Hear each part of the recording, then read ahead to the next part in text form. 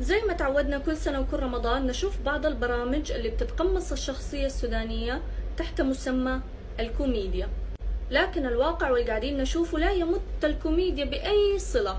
هي مجرد عنصرية وتشويه سمعة الشعب السوداني. خلصنا من موضوع الكسل طلع لنا موضوع جديد وبالتحديد بيمس المرأة السودانية. خلونا نشوف الفيديو. اصبط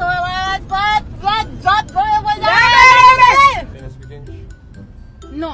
هسه بطوطه بطوطه بطني ده زول ولا زولة؟ لا ده ما في معلوم. ما في معلوم؟ هذه زولة.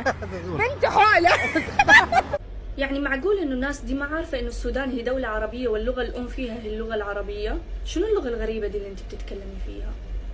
غير كده زي ما اللبنانيين عرب وعندهم لهجتهم والخليجيين عرب وعندهم لهجتهم كمان السودانيين عرب وعندهم لهجتهم فليه الاستهتار؟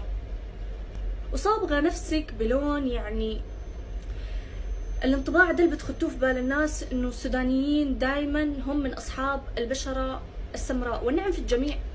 بس المفهوم ده خاطئ. أنتوا بتمثلوا الشعب بصورة جدا خاطئة. بتوصلوها للناس بصورة غلط. آه آه. آه. بص.